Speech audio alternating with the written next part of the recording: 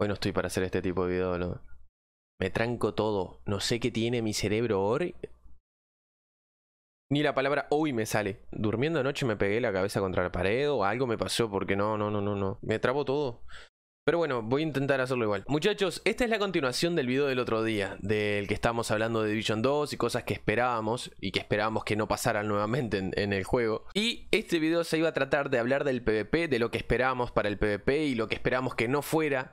Pero en ese lapso entre el otro video y este salieron gameplays del PvP y la zona oscura. Entonces como que me desacomodaron todo lo que iba a hablar. Entonces no va a ser el mismo video que pensaba sacar. Estoy en este formato, no me grabé con el celular, estoy grabando con la cámara eh, la 4.5K de 64 FPS. Porque eh, vamos a reaccionar, entre comillas, como hacen los youtubers re grandes, eso viste que...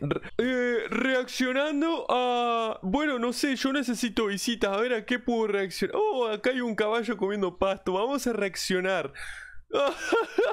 Uh, qué incómodo me queda. El otro día me quedaba re cómodo mirar a la cámara porque la tenía delante. Pero esto la tengo allá en la concha de la lora y se me complica un montón. Tengo que estar así, boludo. Y tengo todo el foco este en la cara. Eh, problemas técnicos que se van a ir solucionando con el tiempo, espero. Lo que vamos a hacer hoy es mirar un video de Wiz. Yo lo miré un poquito, miré un poquito del PvP. Pero primero que nada, como vamos a estar mirando eh, un video de otro canal, lo voy a dejar en la descripción al video. Así pueden ir a dejarle un like o suscribirse al canal de él, para también apoyarlo obviamente, porque no nos vamos a estar robando contenido así de gratis, ¿verdad? Además el gameplay fue grabado por él, etc. Obviamente no están obligados a hacerlo, pero yo cumplo mi parte de darle los créditos al, autor del video. Así que vamos a ir viendo qué tal eh, con el PvP. En este video voy a hablar de dos cositas. Iba a hablar del PvP, pero como ya les dije, como me sacaron gameplays, me formaron todo lo que iba a decir. Así que vamos a ver qué tal. Y lo otro, y lo otro que iba a mencionar era sobre el contenido. El contenido en general, que lo vamos a hablar un poquito ahora. Lo voy a resumir muchísimo, así no nos extendemos y no queda aburrida la cosa. Se va a ver como el culo porque estoy mirando... Bueno, ahora me estaba cargando... Primero lo empezó a cargar en 360, ahora está en 480. No lo puedo cargar en 720 porque se me tranca todito. Así que perdón por la calidad del video. No lo, no lo voy a poner en pantalla completa, si no, no vamos a ver nada.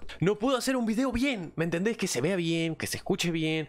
¿Qué pasa? Todo tiene que tener un problema, boludo. Mi canal es un problema, creo. Pero bueno, eh, primero que nada, estamos en zona oscura, ¿no? ¿Ya entró la zona oscura acá? ¿O no? No, todavía no creo. Ahí está. Ahí está el checkpoint. Tienen dos habilidades cada uno, ¿verdad? Primero, la primera cosa que voy a tocar. Primera cosa que voy a... Primer tema que voy a tocar. Uy, mira lo que es la zona oscura, qué chiquita, boludo.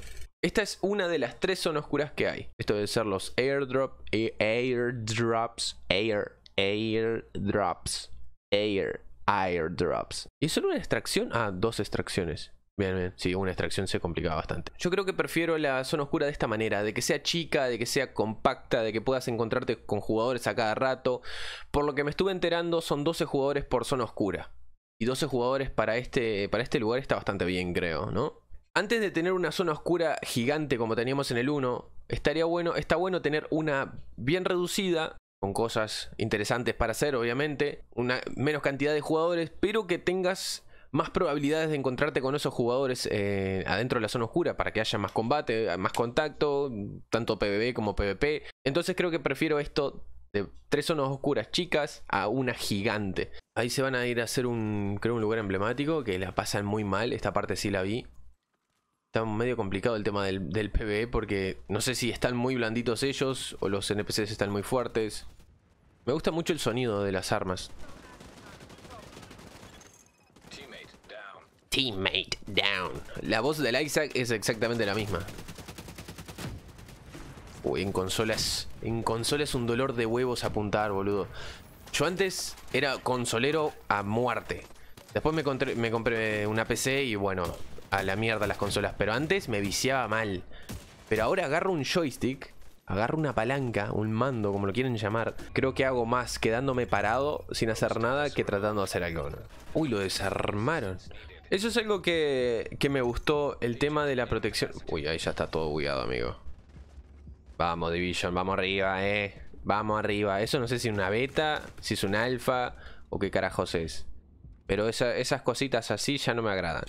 Eh, eso de la protección me gusta un montón. Parecemos NPCs con la barrita de protección arriba. Lo que lo hizo más lento el juego, yo creo que ese es el tema de, de las curaciones. De no irte a lo loco rusheando y que, bueno, tengas vida baja y te tires un botiquín al instante, te puedas curar y sigas rusheando. El tema ahora hay que castear el botiquín. Y creo que eso es, algo fundamental como para hacer el juego un poco más lento. Que desde el principio fue lo que ellos quisieron. Yo veo muchísima gente quejándose, tanto en comentarios como en grupo de Facebook, que el juego es demasiado lento que el juego es mucho más lento que el 1, que es muy tosco como lo estabas diciendo, pero yo creo que ellos están logrando hacer lo que quisieron hacer con el 1 también. Porque es un juego basado en coberturas, ¿no? Es un shooter basado en coberturas. Y es lo que quisieron hacer desde el inicio. Por eso en el 1 tenemos tantas habilidades de cobertura como la cobertura inteligente, la cobertura móvil y tantas habilidades que se adaptan a usarlas cuando estás en cobertura. Entonces fue ese, eso quisieron hacer con el 1, pero fracasaron estuvieron muy lejos de lograrlo. Me acuerdo a los inicios, la cobertura inteligente no funcionaba, creo. No servía para absolutamente nada. Después la arreglaron, la rompieron, mejor dicho. Le podías gastar unos 5 cargadores con ulti de daño a, un tipo que estaba en la cobertura inteligente y no lo podías matar. Entonces, mientras estabas en la cobertura inteligente, eras invencible porque te bajaba la vida muy suave y te curabas todo lo que quisieras, porque antiguamente los DPS tirabas la cura y te curabas absolutamente todo. Entonces, estar en cobertura estuvo muy roto. No podías irte a rushear porque si estabas si peleabas contra alguien que estaba en cobertura no te no le podías hacer absolutamente nada. Después fue todo lo contrario. Después sacaron la cobertura inteligente, la nerfearon, o sea, no la sacaron, la nerfearon, quedó mucho más débil, te partían al medio mientras estabas en cobertura, ahora actualmente ya ni se la usa porque no sirve para nada. Después éramos todos corriendo en círculos con el arma en la cadera, disparándonos, curándonos, y ahí estábamos todos en la vuelta corriendo y corriendo y disparando, corriendo y disparando. Entonces, ellos nunca, nunca lograron lo que quisieron, hacer un juego en base a coberturas. Después lo fueron modificando de a poquito y lograron que el PvE, por ejemplo en las legendarias, tengas que estar mucho a cubierto porque los NPCs te hacen pedazos. Entonces como que ahí acomodaron un poquito el PvE a basarse en cobertura. Pero el PvP sigue siendo algo de, ir a rushear y bueno, ya sabemos lo que es el PvP hoy. Entonces lo que hicieron acá enlentecieron las curaciones, los botiquines, por ejemplo. No sé la curación por el dron, yo sé que existen más habilidades para curarte, creo que es más cura progresiva, no es algo que te cure toda la vida de una, excepto por el botiquín, el botiquín al castearlo después te cura un montón. Pero ya tener que castear el botiquín para curarte, eso es un avance tremendo para forzar un juego en cobertura. Te das cuenta que siempre están, están en cobertura, no, no se va a rushear de una. Ahí, uy, lo bajó le están pegando atrás, que creo que es un NPC. Uy, boludo, no se ve nada. ¡Qué asco esto! Por Dios. ¿En cuánto estoy mirando este maldito video? En 360, boludo. Es un asco esta internet. O sea, yo ya estoy acostumbrado, pero digo para grabar, boludo. Ahí ya no, le quedan botiquines, creo. No, no da para ver. Mirá cómo lo, lo revienta. Cuando le saca la protección... Es como los NPCs en el 1. Eh, lo que más demoras en sacarle es la protección. Después que le sacas la protección, el NPC se muere al toque. Y creo que somos iguales ahora. Entonces, para la gente, como venía diciendo, para la gente que se está quejando de que el Division 2 es muy lento, así tendría que haber sido el 1 también. Pero fallaron y nos acostumbramos a la jugabilidad del 1. Entonces, esto nos parece muy raro. Uy, se le murió el compañero. ¿Acá se muere? Sí. Qué pesado que estoy con la cobertura, ¿no? Pero es algo que me llamó mucho la atención. Que al fin lo pudieron lograr, boludo. Te das cuenta que están ahí al descubierto y los destrozan. No sé cómo, cómo será el daño de, esos drones. Me imagino que tendrás que tener electrónica como para que hagan buen daño, como las torretas en el 1. Pero ahí se encuentra con... ¡Ay, boludo! ¿Por qué no lo desactivó? Ahí le sacó casi toda la protección.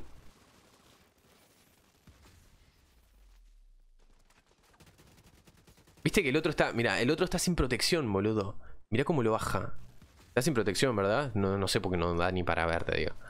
Está sin protección. Tiene apenas un hilito de protección acá. Y mira cómo lo baja de una. Lo destroza. El otro no le pegó muchos tiros también, ¿eh? Y acá se va a encontrar con las famosas torretas, boludo, anti-camp. Cómo lo destruyen las torretas, mira. Le sacó toda la protección en toda la vida, boludo. Están fuertísimas. Son creo que demasiado. Porque de acá salís y ellos, por ejemplo, te están esperando por acá como hacen estos. Y si te van a pushear, te, van a destruir las torretas. Me parece bien eso. Eso me gustó. Porque es muy pesado. Yo Estoy, admito que lo hago de vez en cuando también, campear en el Division 1, me campean siempre los hijos de puta. Pero pienso que es una buena, es un, es un avance que no te puedan campear. Aunque tranquilamente podés salir en otro punto de control o viajar o salir responder en otro lado. Pero bueno, no, me gusta mucho. El tema de las coberturas, boludo, de un juego basado en coberturas me gusta bastante. Ese es el jefe. El sniper. Uy, lo destruyeron, pobrecito. Los jefes se mueren muy rápido, ¿eh? Bueno, aunque en el 1 también. Pero creo que se mueren muy rápido. Una cosa que no me agradó demasiado por el tema de variedad es que hayan solamente tres clases. Quizás es al inicio, porque se acuerdan que en el 1 al inicio ni siquiera sets habían, eran solamente piezas amarillas y después fueron saliendo las piezas verdes, saliendo los sets. Mucho es que tenemos solamente tres clases, o sea, está el del lanzagranadas, el del sniper y el de la ballesta. Pero con seguridad después van a agregar más, pienso yo, ¿no? Ese jefe está buenísimo, boludo. Es lo que se hizo sea, te viene cuerpo a cuerpo el hijo de la madre, mira. Alto hachazo, guacho.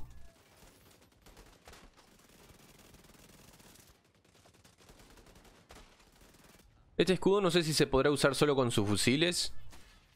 O capaz que sí, ¿no? Solo con sus fusiles. No creo que puedas poner un rifle de asalto ahí arriba. Boludo. ¿Te diste cuenta de algo? Se le bugueó el sonido. Escucha el disparo. no se escucha el disparo, boludo. Me estás cargando. ¿En serio se le buguearon los sonidos?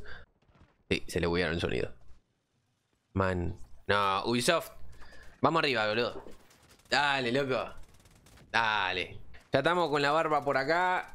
Los huevos allá abajo. De tener que estar aguantando los mismos errores, boludo. Son errores muy básicos.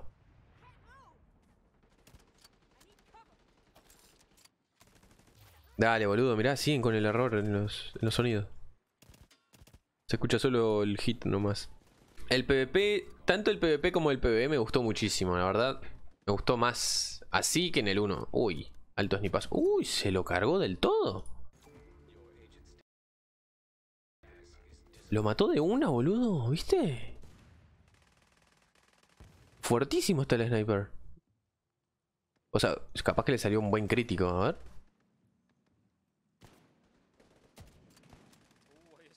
¡Lol! ¡Lo mató! O sea, lo, lo, dejó abatido. ¡Man!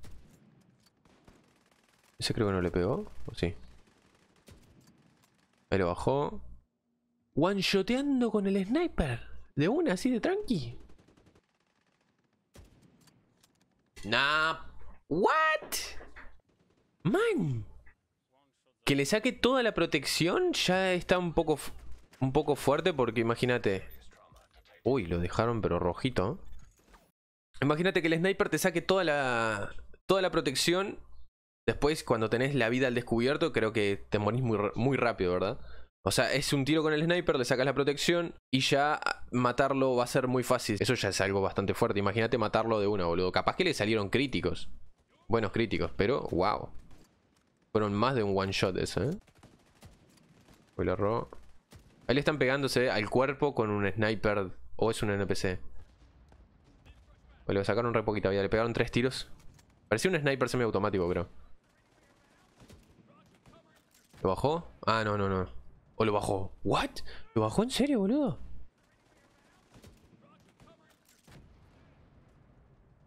No, no, se cubrió. Sé que lo había bajado. Mirá, boludo, cómo los destroza.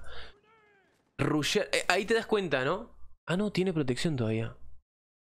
Pero rushear no es una muy buena idea cuando estás muy bajo de vida. Que tampoco le pegó ni un tiro el otro hijo de la madre, ¿eh? Estás malísimo, man. Bueno, están jugando con, con joystick, así que no sé. Quizás son de PC. Pero te das cuenta, mira, acá... La... ¡Ay, no se ve nada! ¡Por Dios! El otro viene con esto de protección. O viene sin protección. No sé por qué no se ve nada. Creo que viene sin protección el otro. Ah, tiene protección. Tiene... Hasta acá tenía de protección, más o menos. Pero fíjate cómo lo desarma Wiz tiene la ventaja de altura. Tiene al otro descubierto. Wiz está descubierto, pero el otro es malísimo disparando. O sea, no le pegó un tiro. Porque si no, con seguridad lo destrozaba. Aparentemente hay que pensarlo un poquito más. Además, este es un sniper. Quizás tiene menos vida o tiene menos protección. Anda a saber, no sé cómo será el tema ahí. Pero lo que no está. Lo que, ah, lo que me estoy fijando acá. Ahora voy a hablar de eso. Pero fíjate cómo lo desarma, boludo. Con una Vector. Esto creo que es una Vector, ¿verdad? Mira ahí. ¡Oh, melteado, guacho!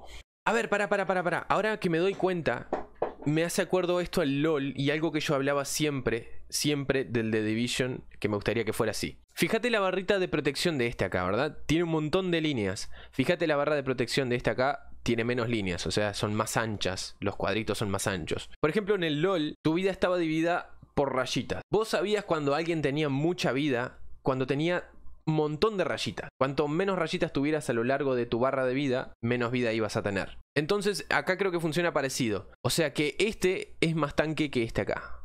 Este tiene más cantidad de protección que este. Eso me gusta.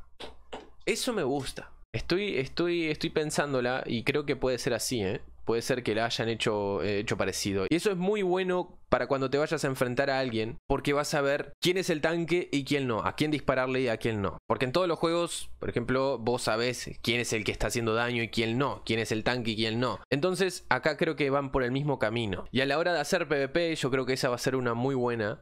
Porque los tanques se van a arriesgar un poquito más. Quizás los tanques se vayan más adelante, vayan a pushear. Creo que va por ahí la mano, ¿eh? Si no me equivoco. Pero si lo hacen así va a ser muy buena, boludo. A mí me va a gustar un montón. Este video va a quedar una basura, boludo, porque no era lo que yo pensaba hacer. Pensaba hablar un poco más del PvP, de cómo podría ser, pero bueno. Una cosa que me preocupa un montón es el tema del balance.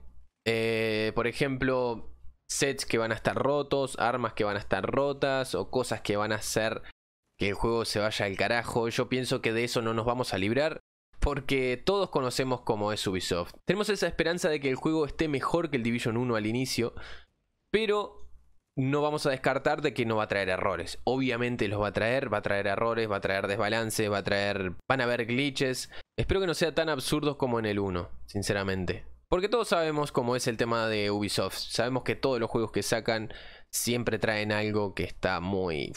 Entonces yo pienso que esto no va a ser una excepción, va a ser igual. Eh, por otro lado, a ver, vamos a ponernos... ¡Opa! Ahí va. No puedo poner esto más grande. No puedo poner esto más grande porque se ve como el orto. Se ve como el orto la cámara. Ya así mismo se ve feo. Por último, otra cosa que tengo miedo es el tema del contenido. Es el tema del contenido porque todos sabemos que si le metemos horas a un juego, horas y horas y horas, vamos a llegar a un punto que vamos a tener todo, que vamos a tener, vamos a estar, estar allá arriba, vamos a estar en el tope y no vamos a tener más nada que hacer, además de, repetir actividades o hacer PvP, etc. Entonces un problema muy grande que tuvo el de Division 1 era que te quedabas sin contenido enseguida. Por ejemplo, agarrabas, empezabas a farmear, conseguías armas, conseguías las piezas, las piezas que necesitabas, las recalibrabas y llegabas al tope, no tenías más nada para hacer. Hasta que sacaran otro parche y agregaran más cosas. Y bueno, ahí otra vez agarrabas, empezabas a farmear, conseguías las cosas que sacaron y llegabas al tope otra vez. Pero claro, va a llegar un momento en que no, vas a tener más nada para hacer, vas a estar en el tope, vas a tener todo como actualmente. Yo por ejemplo tengo los sets ya con todos los atributos que quiero,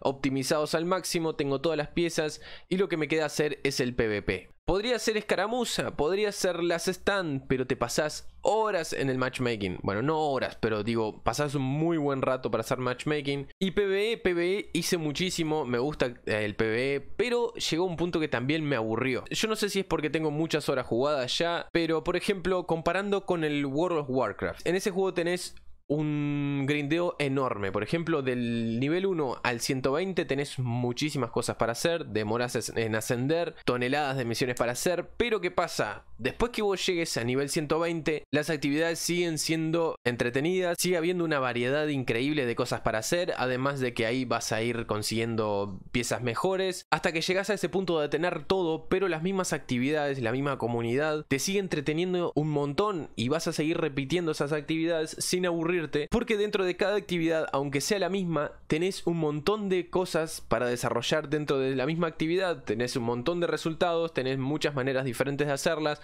Entonces, eso es lo que te entretiene. Y es lo que espero para este juego, de que podamos hacer el contenido, lo podamos completar, pero que a la vez siga entreteniendo de la misma, no de la misma manera que al inicio, porque obviamente al inicio es todo nuevo, pero que te siga atrapando, ¿me entendés? Y por favor que los matchmaking no demoren tanto como en el Division 1, boludo. Yo abandoné supervivencia, abandoné escaramuza, abandoné las stand, todo por las salas de espera, por el matchmaking, boludo. Es increíble lo que demora. Creo que este video quedó una mierda, porque no era lo que yo quería hacer. Me ganaron de mano. Pero bueno, espero que haya entretenido un poquito al menos mi comentario y mi opinión sobre lo que es The Division 2. No se olviden de ir al canal de este muchacho y darle un like para darle un poquito de apoyo. No era lo que yo pensaba sacar, pero bueno, como dije que iba a sacar una segunda parte, acá está. Un abrazo gigante para todos y nos estamos viendo en el próximo video. Adiós.